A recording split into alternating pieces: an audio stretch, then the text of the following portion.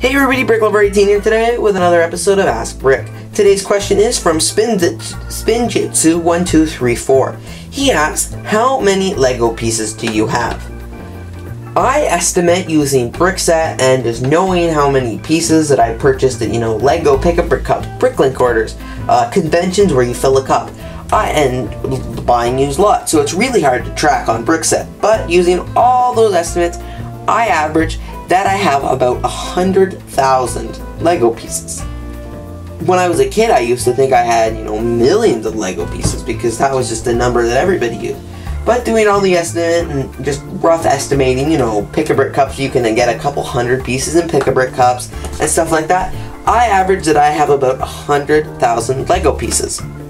Thanks for watching this episode of Ask Brick. Let me know down in the comments below how many Lego pieces you have. And don't forget to hashtag your questions with the hashtag AskBrick.